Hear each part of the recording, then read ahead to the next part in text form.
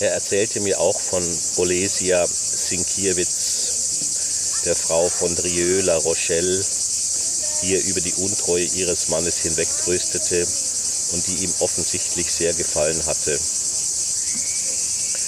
Er erinnerte mich mit Vergnügen daran, wie er spärlich bekleidet seine Doktorarbeit in der Wohnung abtippte, die Drieux ihnen überlassen hatte.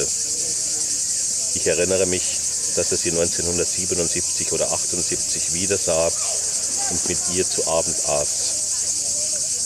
Das war infolge eines Ansuchens von Seiten Dominique de Sentis, der damals eine Biografie über Drieux schrieb und es nicht schaffte, ein Treffen mit ihr zu erwirken. Lacan liebte es sehr, wenn man sich für ihn zerriss, aber er war auch fähig, sich abzurackern, um jemand einen Dienst zu erweisen, ja auch nur um einer bloße Laune zu befriedigen. Er war mehrmals vergeblich die sechs Stockwerke zu Olesia hinaufgegangen, denn sie hob nicht das Telefon ab.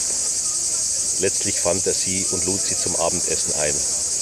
Aber er stellte fest, dass sie sich nichts zu sagen hatten.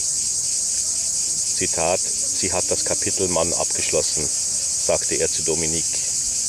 Sie lebte damals mit einer Frau zusammen.